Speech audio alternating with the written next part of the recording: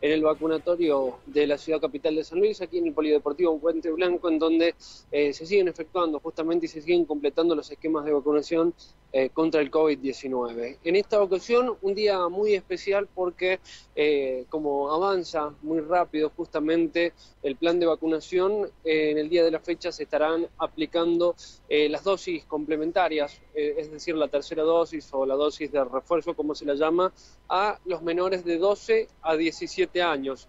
Es una noticia, la verdad que muy importante, más allá de que algunas eh, personas, algunos jóvenes que presentaban algunas patologías eh, base, o presentan, mejor dicho, ya fueron llamados con anterioridad, pero hoy, a partir de las 10 de la mañana, se va a empezar a llevar a cabo esta vacunación. Importantísimo aclarar, y es algo que nos comentaban aquí en la puerta de ingreso, eh, muchos menores de edad venían a esta hora, por ejemplo, cuando, por ejemplo, ahora se están efectuando eh, las dosis de complemento, segunda, primera, aquellas que no se la colocaron momentáneamente, o tercera para aquellas personas que eh, no habían tenido la posibilidad de antemano de venir.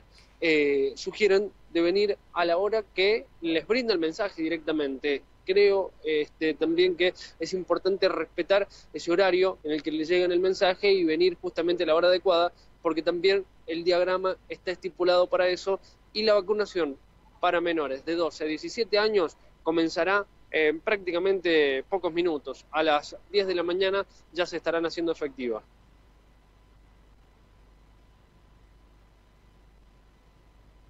Bien, Tommy, excelente. Muy bien, muy excelente. Allí está entonces lo que Tommy nos cuenta al respecto de cómo está el servicio de, vacunación por estas horas y cómo comenzarán esta jornada, eh, principalmente haciendo referencia a esto, que hoy comienza con un nuevo grupo etario que tiene, si bien tiene un porcentaje, eh, como explicábamos recién, porcentaje importante, porque hablamos de un 96% de esta población que ha recibido al menos una dosis y el 85% las dos dosis. Este número es el que se busca de una manera elevar.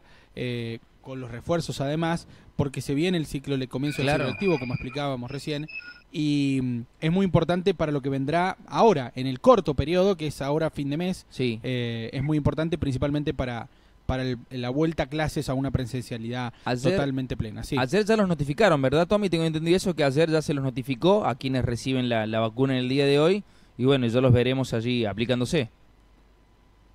Exactamente, fueron notificados los del día de hoy, eh, muchos más serán justamente también a, partir de hoy para mañana y así durante todo el transcurso del fin de semana y a partir de la semana próxima que, se espera justamente que eh, lleguen ya con más masividad y, se pueda ir avanzando eh, rápidamente porque San Luis ya cuenta con, con, el abastecimiento y la distribución inmediata, no solo aquí en la ciudad capital, sino también en Villa Mercedes y en todo el interior provincial, incluso en algunas ocasiones el Ministerio de Salud se arrima a algunos hogares, a algunos domicilios, principalmente en el interior, este, para eh, justamente factibilizar y evitar también el, eh, la, aglomeración en, ciertos puntos, ¿no? Claro, por supuesto que sí. Bueno, estaremos eh, atentos a cómo va a continuar porque hay un cronograma que se va a, a, continuar en los próximos días, por supuesto. Y los lugares de vacunación por ahora, Tommy, entonces son la ciudad de San Luis, Villa Mercedes y Merlo con este grupo, ¿no? Sí, exactamente, con este grupo. Eh, recordemos que montan operativos eh, provisorios eh, el Ministerio de Salud en el interior provincial y esto se va anunciando también en la página del mismo ministerio. Es importante que también la gente que tenga alguna duda y que sea del interior provincial y que lógicamente tenga muchas complicaciones para venir aquí, llame a la autopista de la información o en el momento que, que se acerquen estos puntos móviles, consulte y evacúe cualquier tipo de dudas porque lógicamente eh, algunos momentáneamente no han optado eh, vacunarse, aquellos que les resta la segunda dosis, quizás hubo allí algún inconveniente de, papeleo y demás. Bien. Bueno, Tommy, vamos a seguir recorriendo eh, el, vacunatorio aquí en la ciudad por los próximos días, porque por supuesto que el movimiento estará, estará allí, siempre en la precaución de los refuerzos de estas terceras dosis. Abrazo, Tommy, volvemos en un rato. Abrazo grande, chicos.